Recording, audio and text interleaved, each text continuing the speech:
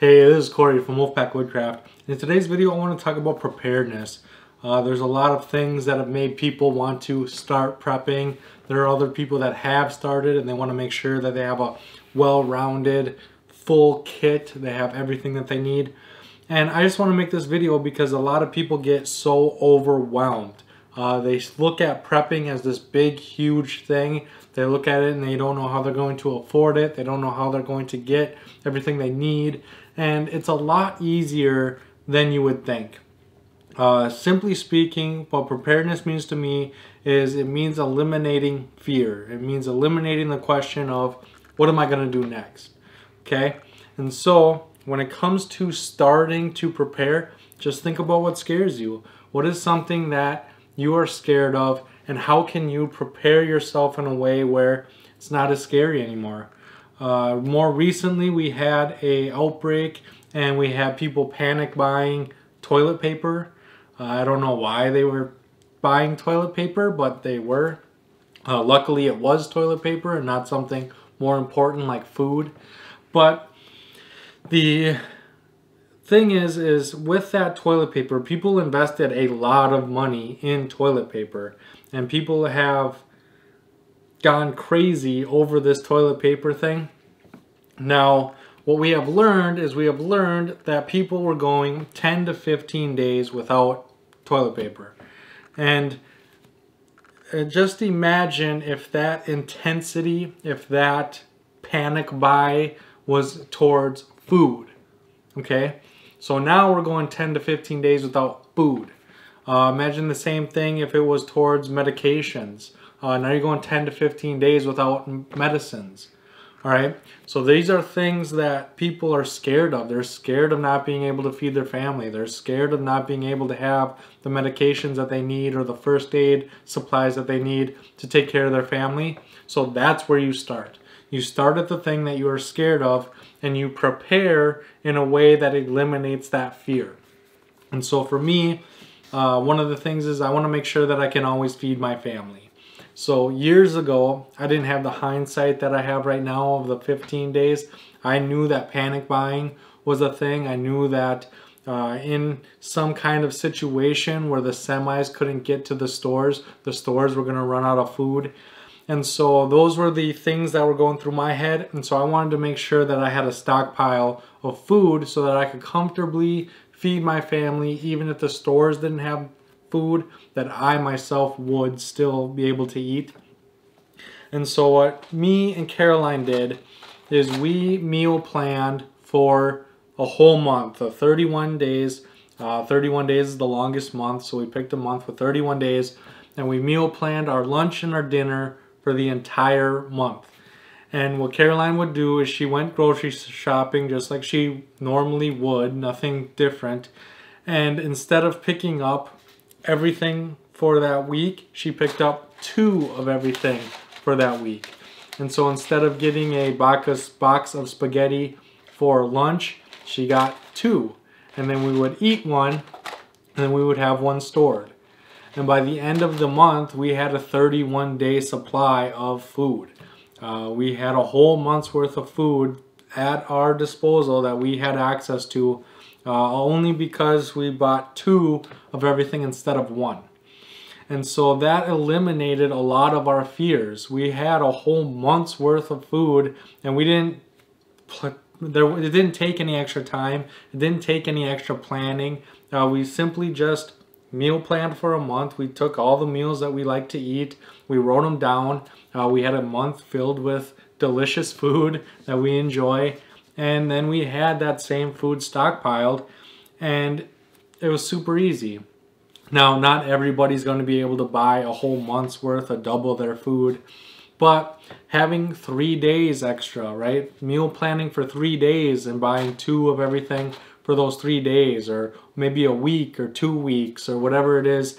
Uh, hopefully you can get as close to that 10 to 15 days as possible.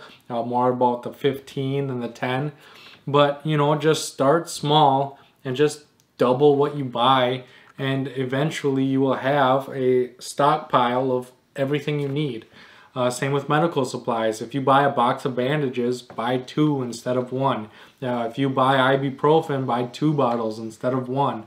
And if you just double up like that, eventually you're going to have a nice system where you can adequately have all the supplies you need, uh, regardless of what will happen outside, right?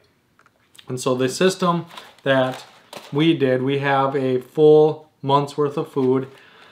And the other thing that we did with that is, so she bought two, we ate one because that was what was planned for dinner.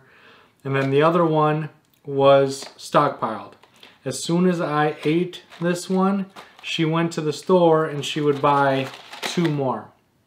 So that way we always had one to eat and one to save. But if we were going through it faster than she was shopping, so let's say I ate this one, I would write Kraft spaghetti on our whiteboard. And then if I ate the last one, the last one was always worth two. And so I would put uh, next to Kraft spaghetti, I would put times three to make sure that she bought three instead of two because we always want to have that one extra. So let's say I ate the one, I would put Kraft spaghetti, and then I eat another one, I go times two because I ate two, and then if I ate the third one, then I would put times four because the last one's worth two, and then she would buy four boxes. And then from there, we always have one extra. Even if I eat all three of these boxes, uh, I still have one extra. Okay, we even have another one. So I can have a box of spaghetti every week for a whole month and I still have one extra. So we always have that 31 days. And so that's something that was important to us is to make sure that we had food to eat. We had the ability to take care of ourselves. Even if every store in the world went down, we could be just fine for the next 31 days. Uh, the other thing is a lot of people, they hoard, okay? Like the toilet paper, people were buying like a billion things of toilet paper and spending just an outrageous amount of money on it. And you don't need a thousand boxes of spaghetti, right? As soon as the fear is gone, as soon as you feel confident and comfortable in your preparedness, that's when you're done. That's when you can stop. Okay, you don't need a hundred boxes of spaghetti and a hundred things of this and a billion things of that. As soon as that fear goes away, that's when you know that you're prepped and ready and you can move on to the next thing. All right.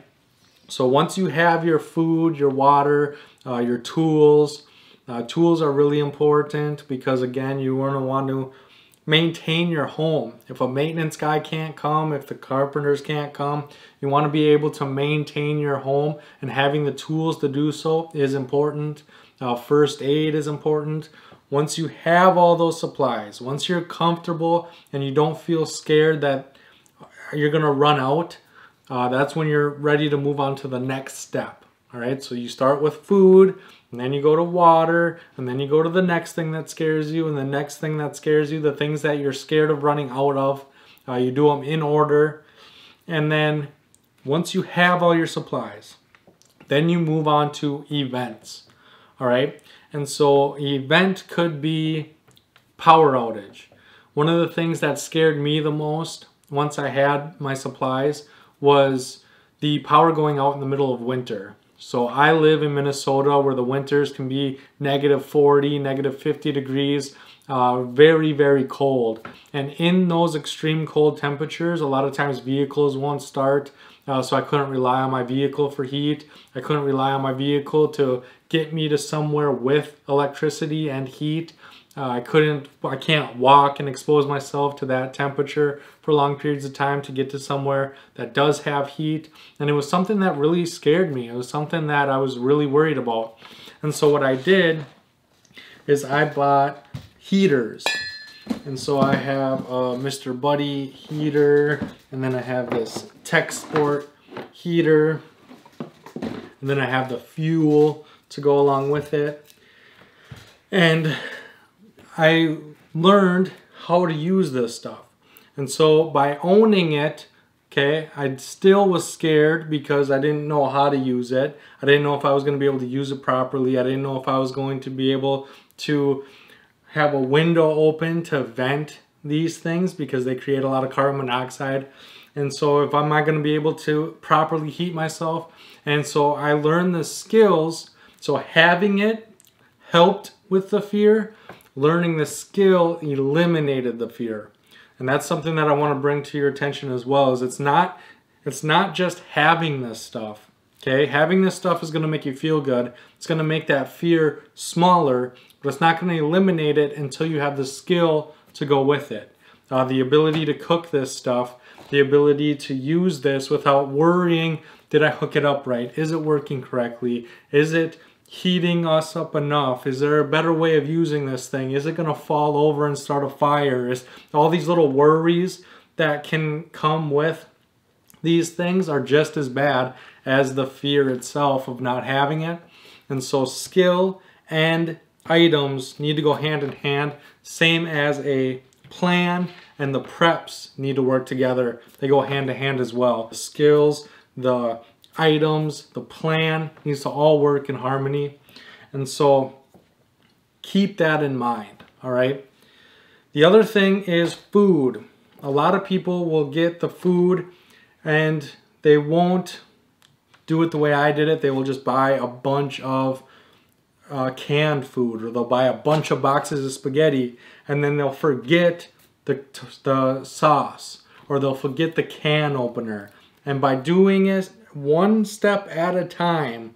All right, don't buy a whole bunch of everything at a time. Don't buy heaters and food and flashlights and this and that and the next thing. Just focus on one thing at a time. Focus on heating. All right, when you're in that event phase and you're working on a power outage kit, one thing at a time, not the whole power outage, one thing. Heating, eating, and then uh, cooling if you have little battery fans those work really well. Uh, flashlights having a flashlight that's easily accessible so that you can either use it for light. You can this will probably be the light that I use. Uh, or I can use this flashlight to go get my other lights and my other lanterns depending on what the power outage was caused by. And so one thing at a time. The other thing is when it comes to power outage the refrigerator, I try to keep the fridge and the freezer sealed. I don't want to open them at all. And so like spaghetti is something that I learned to make on my camp stoves. And so spaghetti is something that I bought a lot more of. I have nine boxes here, one per week. I doubled it and then I have an extra. Uh, pancake mix, I have a large thing of pancake mix. Uh, ramen noodles, I have a lot of them. I have a lot of different soups and noodles and rice. And these things allow me to cook and have food. I can put peanut butter on my pancakes. I can make a peanut butter sandwich. Uh, it allows me to cook without opening that fridge. All right, so the preparedness, the blackout kit is something that helps me accomplish different things. So the more you prep in one specific thing, the more you're prepared for things that you haven't even thought of yet. So it becomes easier and easier and easier and easier as you go on. Uh, something that I wanted to mention is my fridge starts making weird noises sometimes and I'm worried about it dying. Well, because of my power outage kit, uh, if my fridge dies and all the food goes rotten in the inside, I still have plenty of food. Not because I planned on my fridge dying, not because I was afraid of it dying or that I even prepped for that. I had no intentions of being ready for my fridge dying, but because of the other preparations that I put in place, if my fridge dies, it's not a big deal. I'm not scared of it dying. If everything in there goes bad, it's gonna suck. Like all these things that could happen suck, but I'm ready and I'm prepared. And that's something that I think that a lot of people, if their fridge went down, if their fridge just stopped working, it'd be devastating. They'd be, how am I going to afford it? What am I going to do now? I can't afford another fridge. All that food's going to go bad. I have almost of the things that I eat in there. Uh, there's a lot of people that it, that would cripple them. But because I prepped in other ways, I'm not worried about it. It's not going to be a financial burden. It's not going to be, i I'm not going to go hungry. Uh, it's just one of those things that can happen and that I'm ready for because of this. And that's why I feel prepping this way is so important because instead of having a bunch of stuff that you might need, right? You have everything you need for one thing, everything you need for another thing, and then those two can merge together, and then you're ready for something you never even planned for. So hopefully that makes sense. I know I didn't explain it the best, but hopefully you understood where I was going with that. And that's what I wanted to bring to you today. It's not as hard as it everybody makes it seem like it's so difficult, and it's not. Uh, the way I like to think about it is like building a wall. Okay, if you're building a great wall, you look at how big that wall needs to be, and you're like, this is going to take forever, and this is going to be so much work, and it's it's so overwhelming, and you don't believe you can do it because it's just huge. Well, if you look at it a different way and you just think of it one brick at a time, right? If you look at a brick and you make it as level and as perfect as you possibly can, and then you move on to the next brick and you make it as level and as perfect as you possibly can, you will accidentally make a great wall. And it might be 10 times bigger than the wall that overwhelmed you, but you're not focused on that. You're focused on the one brick at a time. And by doing so, you have accidentally built a great humongous wall. All right, and that's how I take prepping, that's how I take preparedness, one brick at a time, one situation at a time, one item at a time, and eventually you will be as prepared as anybody else, maybe even more prepared than the people you watch here on YouTube. So in that comment section, tell me, what are you scared of? What is something that you fear? And I will try my best to help you prepare and eliminate that fear either through a video or a comment. And I cannot wait to see you in my next video.